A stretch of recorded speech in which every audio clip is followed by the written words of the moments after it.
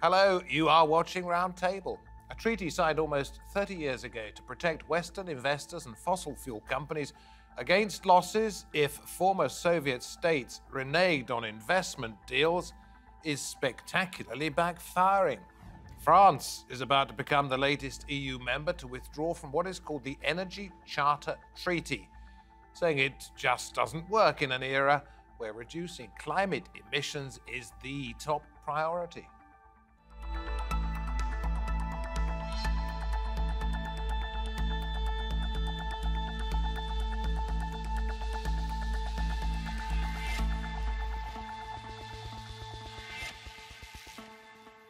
Very good to have you along. I'm David Foster. Okay, it is a treaty that protects fossil fuel companies from losing money if they are forced to curb their carbon emissions.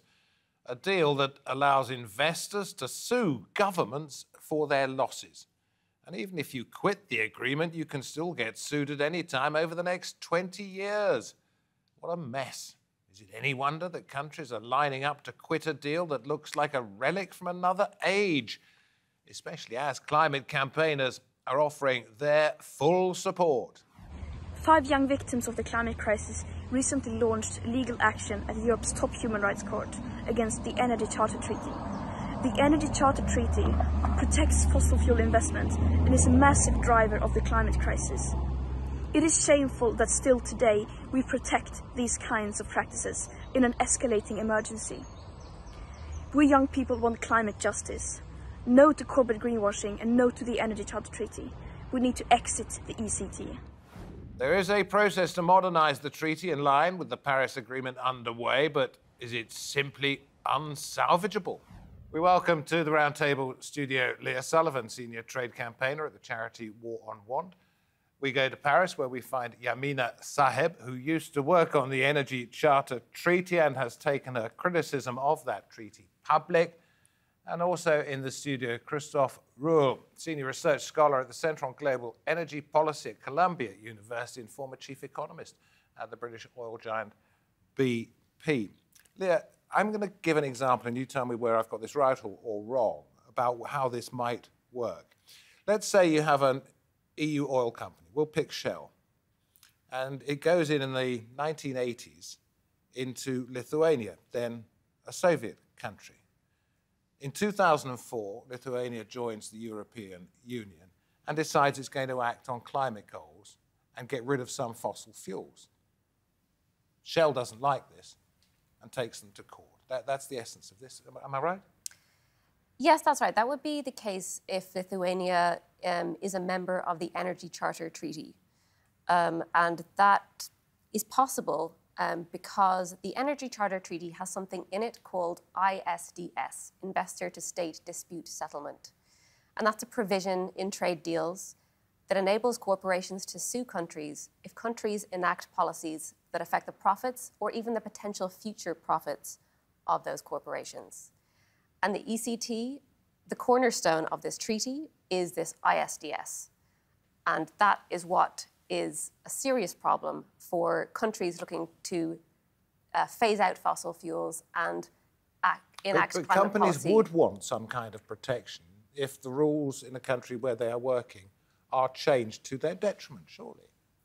They would, but they would have other means available to them. There's no need for them to have this additional um, paral parallel legal arbitral system that exists outside of national courts you know, fossil fuel corporations can and do use other mechanisms to ensure that their investments are protected. They should also not be able to sue for more than they've already invested. You have corporations that are suing for six to 10 times more than they had invested because their projection is that they would stand to make that kind of profit over the next 50 years. So it's an is, actuarial calculation. They're saying if only we'd been allowed to, this is what we could have done. It's an extremely preferential calculation of what that investment might have reaped. You, you worked at BP, made. Christophe, without disclosing anything that you're not allowed to talk about. Did you see this sort of thing going on in the energy industry? No, I think uh, I would take issue with the second half of the argument here. The Energy Charter that was created uh, in 91 or so in order to incorporate the former Soviet republics into the, into the Western system. And basically, you're right, there is at the core of it is different ways of protecting investment in cross-border trade and, uh, and transit uh, opportunities. The energy business is a very long-term business. And so in order to guarantee, and that's why, why the countries joined, a safety environment for investment and sanctuarity of contracts and of ownership in it, you have the possibility of arbitration. And it goes both ways. A famous example of where the Energy Charter was applied was against Yukos, when the Russian state got his hands and expropriated Yukos. The, court, the case is still going through the courts, but that's an example where you could not possibly have gone to Russia, Russian courts and say you should not steal an oil company. You would have to go to some international place of arbitration.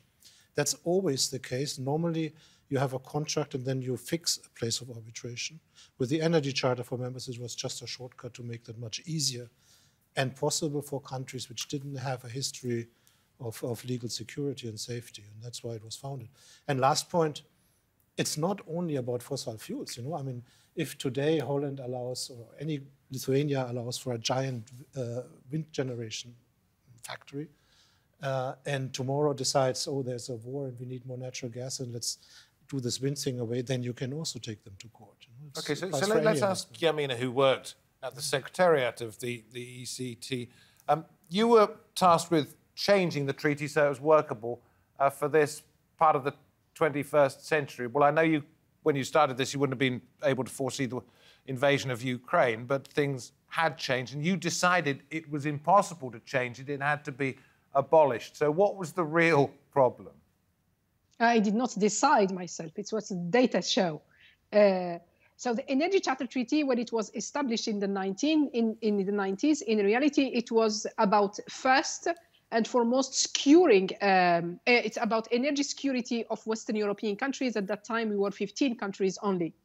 And then uh, it, it, has in its core this ISDS mechanism, which we must remind uh, your audience that the ISDS mechanism was invented, uh, it's a neo-colonial instrument that was invented when Western countries had to decolonize uh, um, uh, what is today known as developing countries, and they invented this instrument to keep control on the resources uh in, in the South. Of course, it was not called, and it's never called about. It's never said like that. It's about uh, keeping control of on the resources in the south. So, but so, in so reality, let me stop you for a second because I want you to clear yeah. up one thing. Are you saying it is therefore set up or has been set up as a biased organisation designed to give the benefit of doubt to those people who've got the biggest investment? In your case, you're talking about colonial powers. Here, we're talking about energy companies. Yeah, yeah, it was set for that. And then, so the ISDS mechanism was invented for this reason, actually. It's neo-colonial tool, and this is what we need to keep in mind.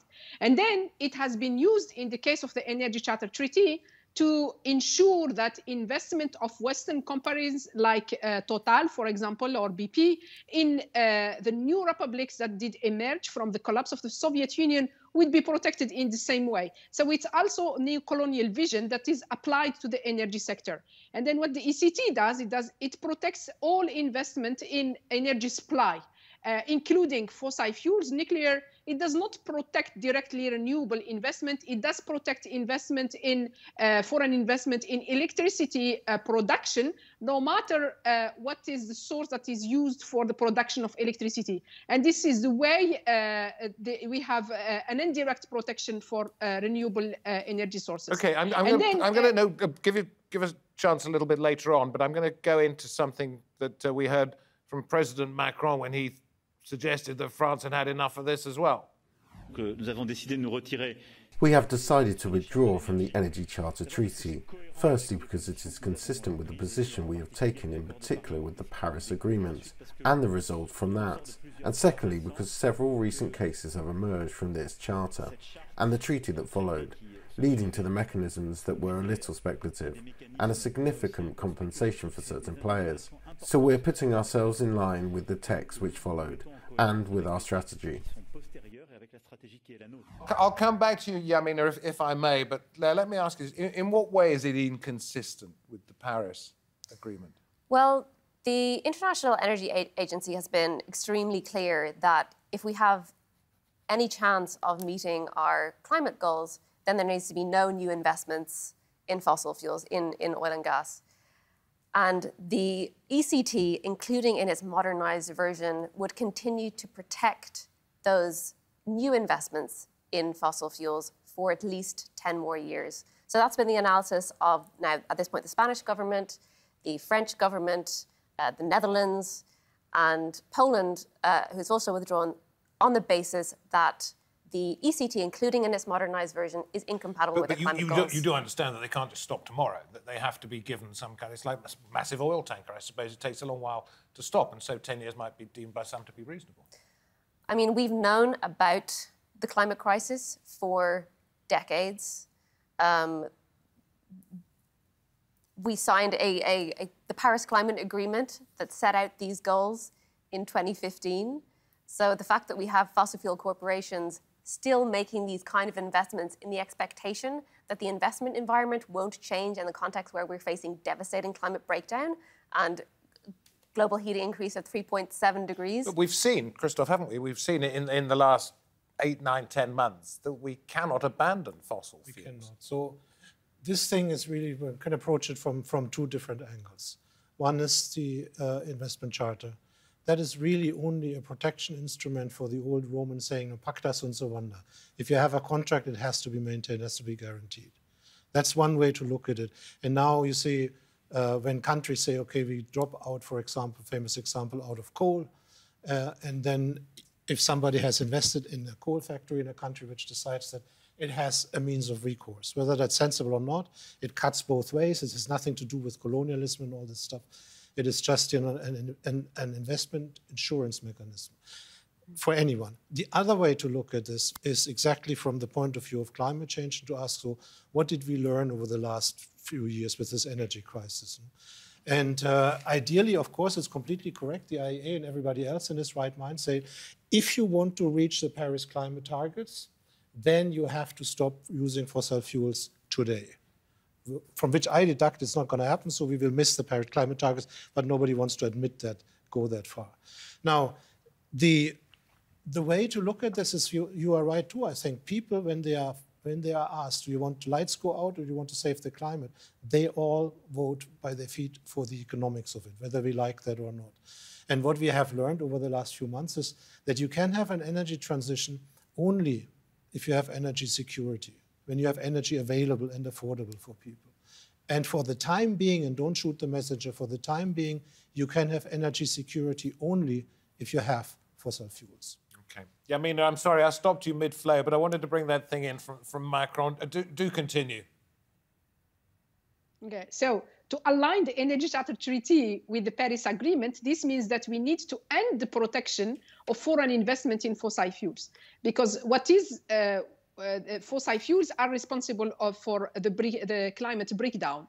Uh, and instead of compensating uh, investors, uh, especially foreign investors in fossil fuels, uh, they should be instead sued uh, for the climate breakdown. And I think this, this may happen uh, in the future by the young generation. And then how this hinders the climate agreement is that what, what I did in my analysis was I looked um, if this option is possible, can we end the protection of fossil fuels, uh, foreign investment in fossil fuels uh, in the treaty uh, through the modernization process? And the conclusion is no, because you have contracting parties to the ECT that make income from fossil fuels. So uh, you cannot go to country uh, with a high rent from fossil fuel and say to these countries, especially these countries do not have climate neutrality target, that uh, we you must stop fossil fuels in your country. Can I ask you and a that's why the conclusion sorry, the conclusion for, of my work is that we cannot align this treaty with the Paris Agreement. And I was delighted to see that President Macron, after four years, my conclusion is from November 2018, four years later, I heard my president Yeah. saying that uh, this treaty is constrained for the Uh, implementation uh, of the okay, Paris can, can I ask you a question? And, and it, it is Yeah. this, from a layman's point of view. Um, if there is no treaty, then countries or corporations, I beg your pardon, are going to be reluctant to invest in fossil fuels in difficult places, which is, which is what a lot of people would like to see. Leah, you're, you're shaking your head. We'll come back to you in just a moment. And if that is the case, then you've achieved your goal, which is to see them ending their investment in, in fossil fuels. But there's got to be some protection for the time being, I, I would suggest. So, what are you suggesting instead of this? Uh, there is first there is protection for investment in the energy sector under the World Trade uh, uh, Organization, and all the countries that are parties except one uh, that are parties to the ECT to the Energy Charter Treaty are also parties to the World Trade Organization. So that's why it's redundant. Basically, the ECT in the 90s may have made sense at that time but today, the ECT is redundant with plenty of other instruments like the World Trade Organization or for the EU with the EU Treaty, and became obsolete when Russia uh, which was which is the main supplier of energy uh, fossil fuels to to, to the EU, uh, left the Energy Treaty in 2009. So here we are with dead, uh, brain dead treaty since 2009, with no purpose in reality from energy security, no contribution to energy security, and the Ukraine crisis is is showing that the war is showing is providing additional evidence that the the, the treaty does not play any role in. I'm going to have to stop you again. I think you could probably talk for a week on this. If I didn't interrupt, but I'm going to come to you later. Um, I made the assertion that if there was no treaty, then com com companies, corporations would stop investing because there was no protection for them. But you were shaking your head.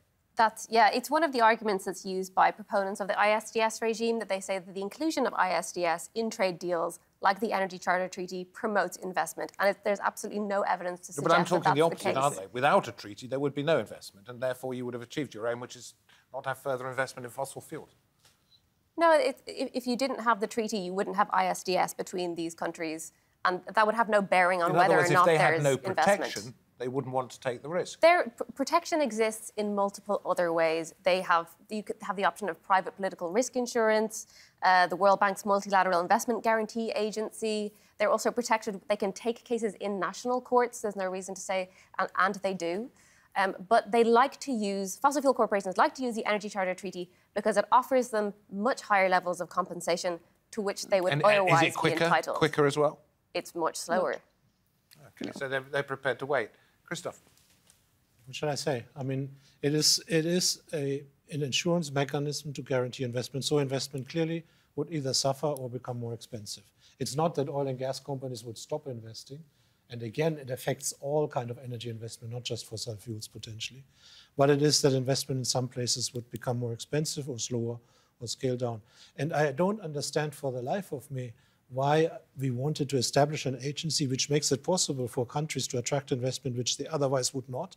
And then 20 years later, because now we are worried about the climate, we abolish that with the result that in some other place more coal will be invested in more. Just what we are seeing right now. Well, like we made mistakes yeah, with the energy transition. We are not, we have not done this in the right way. This is not a simple process of substitution, out with the dirty mm. and in with the clean. It's a much more complicated process where you need, you know, have complementarities and where you need to some extent to live with fossil fuels for a time, because otherwise you will see and we will see probably see this winter people going on the streets and fighting for more coal. Who wants that? Okay, look, you, you want to, to respond, then I'll come to you.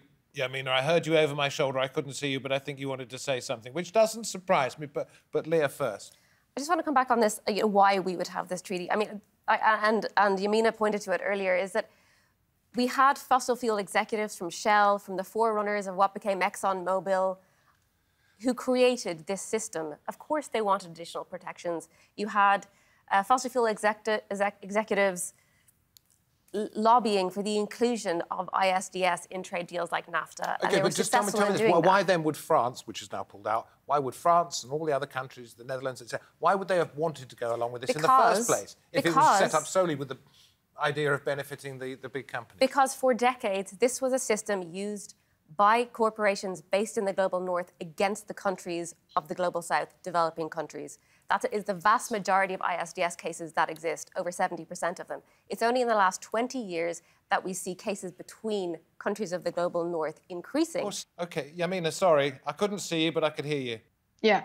So uh, when when you look at the data, uh, you see that the ECT did not attract uh, foreign investor outside um, the same area. So I take the EU investors. The EU investors protected by the ECT are EU investors. So basically, uh, the EU EU countries are attracting EU investors. Uh, um, Central Asian countries are attracting Central Asian countries. And there is a study from the OECD that shows that uh, it's not these kind of treaties that or ISDS that attract foreign investment. It's the, the, there are other uh, other um, other uh, other issues that investment look to, like for example, uh, political stability, financial stability, being in the same framework. So why do we have all these EU intra-EU cases? Because the intra-EU cases uh, we have beyond that we have uh, the EU law. And fortunately, in the case of the ECT, the arbitrators consider that the ECT, given that the ECT Article 16 gives uh, more more um, more privileges to to to investors, so the ECT is above the EU law. But originally, the EU investors go to invest in other EU countries because of the EU law. We are protected by the EU law. And then the ECT comes in and uh, locks the EU, does not allow the implementation of the EU law. Got it, and got it, got it, got it. I'm going to go through some figures it? here. It's been estimated okay. that the total liabilities to countries being sued by corporations could run to 1.3 trillion euros. That is, if the treaty goes to 2050, 1.3 trillion euros. Currently, the treaty protecting fossil fuel assets worth 344 billion euros. Spain been subject to more lawsuits than any other country, over 50 cases in total worth more than 8.2 billion euros. And the Netherlands faced a claim of 2.4 billion euro by the Germany energy company RWE and Uniper. France also sued by the German renewable energy producer Encavis AG. Now, apologies if I pronounce some of those wrong.